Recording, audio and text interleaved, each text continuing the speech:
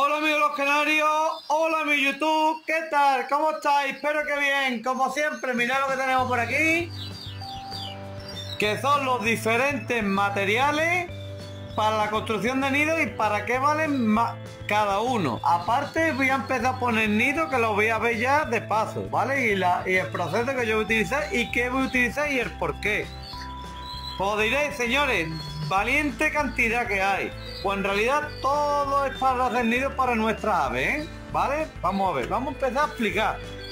Eh, vamos a empezar por aquí, mira, ahora hay una, sea lo que sea, que aquí pelo de cabra con fórmula activa.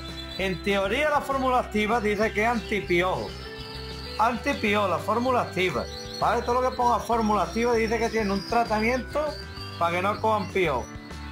Lo dudo mucho, sinceramente, de corazón, me da igual, porque lo dudo porque cuando te que el pie, pie lo coges. Vamos a ver.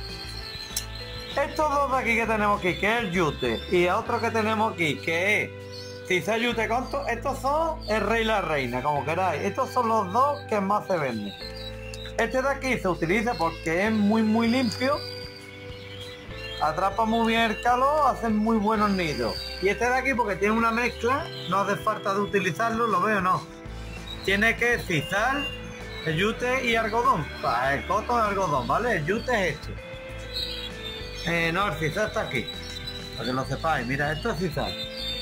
No, no, el cizar está sacado de un... Se saca de una planta como una aloe vera, una planta como un cactus, ¿vale? Se saca esta fibra, se saca. Y se saca esta fibra de aquí.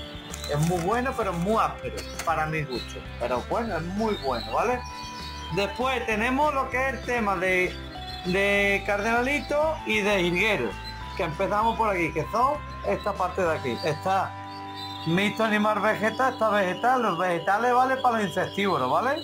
Para los que comen insectos se utiliza eh, esto se utiliza para insectívoros, para hilgueros, ¿eh? Que es mixto animal vegetal, que es mitad, mitad, lo veo, ¿no? Mitad yute, mitad de pelo, mitad. Después tenemos el pelo animal puro, pelo animal que yo no sé por qué lleva un poquito de algodón, porque eso es algodón. Creo que el cotton, como queráis. Lo veo, ¿no? Esto se utiliza mucho, sobre todo para los higueros, ¿eh?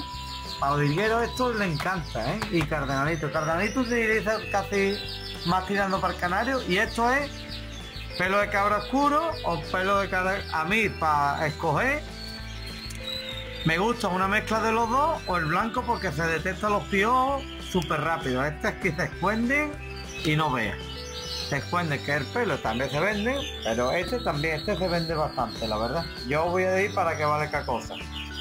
El algodón, que el algodón, que os voy a decir una cosa, el algodón está muy guay, pero tiene una cosa muy mala. Que cuando pone un huevo en el algodón, se pega. Se pega, literalmente se pega. Cuando sale la humedad, el algodón lo absorbe y se queda una membrana, una fibrilla y no nacen los huevos. Que ya en todo caso, si ustedes utilizáis el algodón, utilizad esto, el filo de algodón, que esto sí que es bueno. Esto lo utilicé yo hace dos años y me encantó. Me encantó, que me encantó, ¿eh? Esto me encantó. El filo de algodón, que esto es algodón, pero eso hilacho y no se pega. Y se sale la hila tirando y no se rompen los huevos ni nada. Después tenemos el sisal puro, que es lo que he dicho de allí, que esto sale directamente de la, de cómo es, del cactus este de aquí, que es de, es que no me acuerdo, de donde sale el tequila, me parece que de la misma planta del tequila, el mismo eucalipto que sale, de la hoja, me parece que, no lo sé seguro, ¿eh?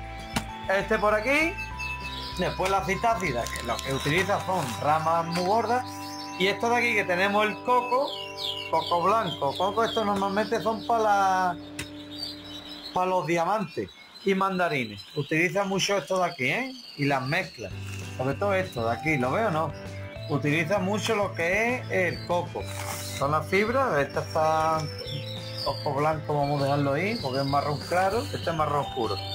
Pero bueno, esto se utiliza para los diamantes, para los cardenalitos en teoría se utiliza este de aquí, esto de aquí para como el canario y ya lo sabéis.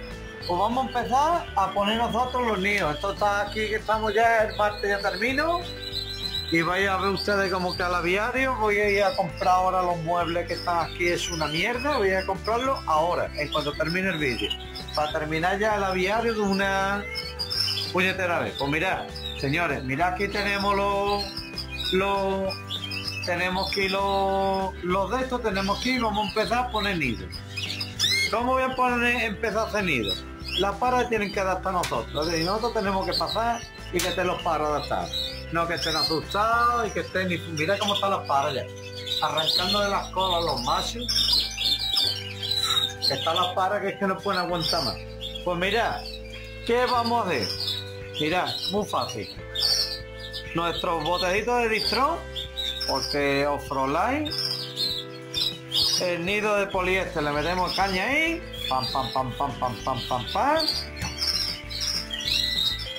Otro por aquí, pam, pam, pam, pam, le metemos caña, le metemos nuestro nido lo dejamos, yo lo voy a dejar 24, 48 horas nido, ¿para qué? Para que la para ya sepa y no se asuste que es un nido que ahí donde tiene que poner los huevos.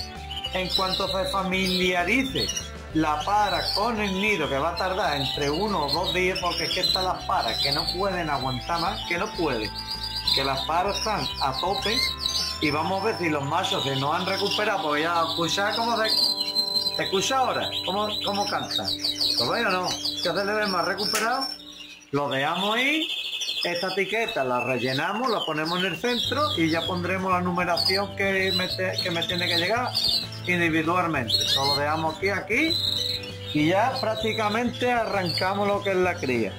Mira aquí cómo está el campeón del mundo, que la hembra de campeona del mundo la ha arrancado la cola el pobrecillo, ¿por qué? Porque no puede, no puede aguantar más. Le ha reventado la cola, mira. Es el, campeón del mundo, es de la ala blanca, el mejor, el más bonito del mundo. Y así tenemos todo y verás, yo creo que va a ser una explosión de huevos. Una explosión. Esto de aquí ya se le ve más recuperado y voy a poner hasta los faeos, ron mosaico. Hasta los faeos ron mosaico voy a poner, ¿vale? Están los mosaicos que ha caído ahí, una mosaica, o que ha caído la verdad, es normal, uno tiene que caer, se tienen que adaptar. Están adaptando pie de todo, algunas caen. Yo, la mentira se ha dicho, pero ahí está, ¿vale? Y esto por aquí y vamos a empezar nosotros ya a meterle caña. Aquí los pelados están todos aquí en condiciones y vamos ya. Las cagan, me encantan cómo están cagando, sinceramente. Y vamos a arrancar, pero ya, ya, ya, ya, lo que es ya, ¿vale? Pues como siempre, señores, gracias por estar aquí. Espero que os haya gustado el vídeo. Vamos a empezar así, ponerlo dos días, esperaros dos días con el nido puesto para que la para se adapte que tiene que poner los huevos ahí. En cuanto se adapte, que va a tardar uno o dos días, ponerle material y vais a ver lo que es poner los nidos rápido, ¿vale? Que ya lo veréis, espero que os guste, gracias por estar aquí. Feliz viernes, feliz fin de y hasta otro amigo los canarios, hasta otro en YouTube. Un gran saludo, hasta el próximo vídeo. Hasta luego.